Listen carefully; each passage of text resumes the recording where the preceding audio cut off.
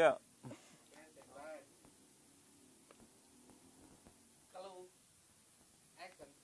Pemirsa kita kembali di tebar kabar dan informasi olahraga. Segera kita sampaikan untuk Anda ini mengenai Presiden sepak bola Spanyol yeah. yang yaitu Angel Maria Villar ini ditangkap karena diduga kasus korupsi.